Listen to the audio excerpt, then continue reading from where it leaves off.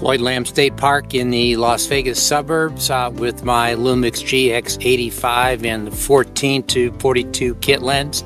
First time out with this setup for photos and video, so off we go, see what happens.